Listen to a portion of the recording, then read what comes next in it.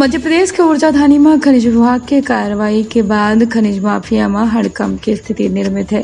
बता दें कि खनिज विभाग के द्वारा कार्रवाई कई के कोयले के अवैध परिवहन में शामिल आठ ट्रक जब्त कर लेंगे वन क्षेत्र के पहल बघेली न्यूज़ चैनल में हम पूजा अपना पंचे सभी जन का प्रणाम कही थे, शुरू कही थे बड़ी खबर से।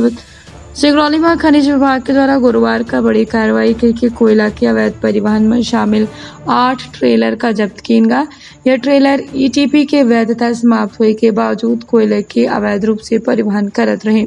जिला खनिज अधिकारी ए के राय के मुताबिक वरिष्ठ अधिकारी के निर्देश के बाद गुरुवार का सहायक खनिज अधिकारी विद्याकांत तिवारी के साथ मिलके बरगवा पुलिस के सहयोग से संयुक्त रूप से टीम बनाई के खनिज के अवैध खनन, परिवहन और भंडारण के जाँच करे के खातिर बरगवा थाना क्षेत्र के बलुगढ़ इलाका में चेकिंग की गई। इस दौरान आठ ट्रक जिनके पास खनिज कोयला के ईटीपी की वैधता समाप्त होने के बावजूद परिवहन करत पावागा जिनका जब्त कैलीन गया है और सुरक्षा के लिहाज से बरगवा थाना परिसर में खड़ा करवावा गया है।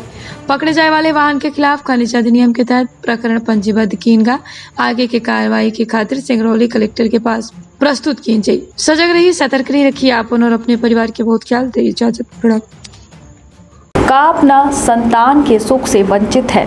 बहने संपर्क करी विंध्य क्षेत्र के विख्यात पहल टेस्ट ट्यूब बेबी सेंटर से। महिला से संबंधित कोनो गंभीर समस्या के खातिर संपर्क करी प्रतिदिन। पुराना तीर्थ मेमोरियल अस्पताल कुटेही रीवा।